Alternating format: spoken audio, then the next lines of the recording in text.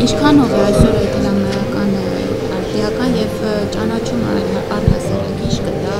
Արցախի եւ նաեւ Հայաստանի հաշվի առնելով նաեւ այսօրվա գործընթացները Արցախի շուրջում։ Հենց հաշվի առնելով այսօրվա գործընթացները պետք է մենք դա համարենք խիստ արձիական, ցավոք նաեւ հրատապ, որովհետեւ հիմա մի փուլում են գտնվում, որտեղ ավելի շատ կարծես թե հանրային կարծիքը ձևավորվում է առանձին գործիչների ակնհայտ տենդենցիոս ելույթներով, որոնք ընդհանրապես ոչ միայն մասնագետ չեն, այլև չեն էլ փորձում մասնագիտական գոնե հարթությամբ խնդիրներին մոտենալ եւ ուղղակի կենսաղային հարթությամբ փորձում են ձևավորել մի տպավորություն, որի պետք է մենք արդեն խնդիրները լուծել ենք, Արցախից պետք է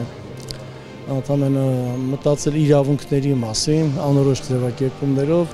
բոլոր դեպքերում էլ յուրաքանչյուր քաղաքացի այդ իրավունքներ ունի անկախ ամեն ինչից։ Եվ հիմա այս փուլում շատ արձիական է դարձել այո միջազգային ճանաչման խնդիրը, որովհետև միայն այդ եղանակով է հնարավոր, եթե իսկապես խոսում ենք արցախցիների իրավունքների մասին, իրապես այդ իրավունքները դարձնել երաշխավորված։ Այլապես մնացածը խոսակցություն են, դու գիտեք, որ մի փոքր անգամ եթե մենք թույլ տանք, որ իբրև թե սկսեն գործընթացներ իրավունքների պաշտպանության անել ադրբեջանցիների հետ բանակցությունների արդյունքում, շատ արագ Արցախը կհայաթափվի։ Արդեն դու գիտեք, իրենց կողմից ամեն ինչ արվում է, մենք ունենանք նույն իրավիճակ ինչ որ Նախիջևանը, որովհետեւ տարբերություն հավատացեք չկա, ուղղակի Նստը ոչ թե Ադրբեջանը ավելի մեղմ քաղաքականություն է վարել արցախցիների նկատմամբ եւ չի կարողացել հայաթափել, այլ ուղղակի արցախցիները իրենց խառնվածքով, իրենց պատրաստվածությամբ, իրենց գիտակցության շատ ավելի բարձր են եղել եւ կարողացել են դիմակայել, իսկ դիմակայելու հիմքեր եղել են։ Հասկանում։ հա, Մենք հենց մենք հենց այսօր կլսենք ներ մասնագետների, մասնագետների, որոնք մշտապես այդ ոլորտում են աշխատել, գործել եւ ունեն վերլուծություններ, կանտոպենք կներկայացնենք իրավական հիմքերը շատ կան։ Իրավական հիմքերը եղել են եւ նախկին խորհրդային օրենսդրությունը, որի հիման վրա Արցախի ժողովուրդը արդեն իսկ իրացրել ինքնորոշման իր իրավունքը։ Այսօր էլ դա կարող է կրկնել, եթե հարկ եղավ ինչ-որ միտեղ վիճահարույց համարելու հանրակրվեի արդյունքները, ուղղակի այստեղ շատ կարևոր է թե կա արդյոք քաղաքական պետական կամք, որպեսի տրվի հնարավորություն այդ մարդկանց իրականացնելու իրենց ազգային ինքնորոշման իրավունքը։ Որովհետև ամեն անգամ երբ խոսում ենք, լավ ասում ենք, հասկացանք, դուք նկատի ունեք բոլոր իրավունքները, բոլոր իրավունքներից գոնե մեկը վերաբերում է ազգային ինքնորոշման իրավունքին, դուք տեսնում եք հստակ պատասխան չկա։ Ու հասկանալի է, որ այլևս դա օրակարգից հանվել է եւ ընդամենը խոսում են մասին, որ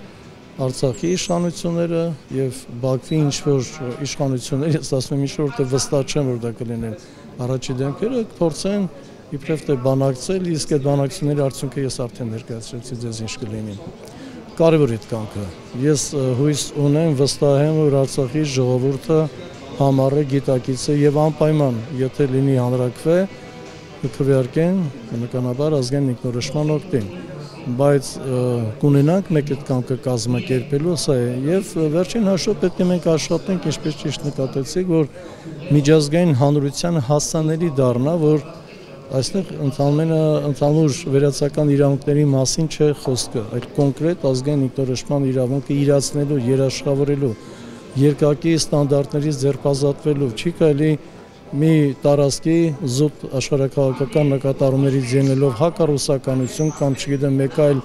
ինչ որ խնդիր նկատի ունենալով ասել որ այո այս դեպքում կարող է լինել աշխարհակաղակական տեսանկյունից ազգային ինքնորոշման իրավունք օրինակ Կոսովոն մեկ այլ դեպքում ոչ դուք ինքներդ էլ տեսնում եք որ ցավոք նաև այն պետությունները որոնք իրենք են ընդամենը տարիներ առաջ դիմել ազգային ինքնորոշման իրավունքի հենքով որոշակի տարածքներ միացնելու իրենք են անգամ երկակի ստանդարտերով ղեկավարվում։ Եթե մենք լռենք, եթե մենք միջազգային հանրությանը դա չկարողանանք հասցնել, նույն վիճակում են մենք կհայտնվենք։ Իհարկե մեծ հույսեր չունեմ միջազգային հանրությունից, բայց եղած եղածը պետք է օգտագործել։ Միջազգային հանրությունը այսօր շատ ամորֆ է եւ ներողություն խնդրում այդպեսին է դարձել հեղինակազրկվել է հենց իր երկակի ստանդարտների արդյունքում դուք ինքներդ եք ձեզ վարկաբեկել եւ հիմա ձեր վրա հույս չեմ դնում, բայց ուրիշ երկ չկա։ Ուղղակի եղած ուժերը պետք է օգտագործել Առավել եւս հուսով եմ, որ միջազգային հանրության հարթությամբ ինչ-որ միտեղ ավելի մեծ դեր ունեն դատարանները եւ դուք նկատեցիք, որ դատարանները այս հարցում գոնե ավելի շատ այո իրավաչափության կողմն են։ Իհարկե, երկրորդ հարցը կա, որ իսկ այդ դատական ակտերը ինքնին կկատարվեն, ոչ բայց այս դատական ակտերը փաստում են իրողությունը, այն իրողությունը, որից մենք ենք անգամ հրաժարվում։ Դատարան այսօր արդեն քաղաքական մարմին չէ, իհարկե քաղաքականությունը այդտեղ եւս այս կամ այն չափով իրեն զգացնել է տալիս, բայց դատանը քաղաքական մարմին չէ, որ հայտարարի, որ ընդունենք միջանցքը փակել են ռուսները կամ չգիտեմ մենք ենք փակել կամ մեկ ուրիշն է փակել իրենք ըստ ամենայնի քննարկում են եւ ճշգրիտ պատասխաններ են տալիս կբացվի դրա հիման վրա թե ոչ ամենայն հավանականությամբ դա դեռ չի խաղա կբացվի դարձյալ կբացվի բայց աշխարհակաղակական այլ շահերը հաշվի առնելով, բայց սա կլինի շատ կարևոր փաստ իրավաբանորեն հաստատված մեր հետագա գործընթացներում։ Մենք ուղղակի ուզում ենք ցույց տալ մեր հանրությանը, որ այլընտրանք կա, որ ուղղակի ճիշտ չի ներկայացվում քարոշամեքենայի, որ իբրև թե քննադատում են, բայց ոչինչ չեն առաջարկում։ Առաջարկում են ուղղակի պետք է այդ առաջարկությունները համակարգված մենք հասանելի դարձնենք մեր հանրությանը։ Եվ այդ առաջարկությունները բացարձակապես աղերսներ չունեն ազգային անվտանգության հետ, ինչպես երբեմն շատ պրիմիտիվ փորձ է արում ներկայացնել, թե իբրև մենք չենք իրավիճակը համարժեք ընկալում եւ կարծում ենք թե դրանով սրում ենք ավելի շատ եւ ազգային անվտանգության խնդիրներ ենք ստեղծում։ Ոչ, հակառակը Եթե մենք ուղղակի զիջում ենք բարբերաբար, հենց ստեղծում ենք ազգային անվտանգության տեսանկյունից խոցելի իրավիճակներ։ Շնորհակալություն։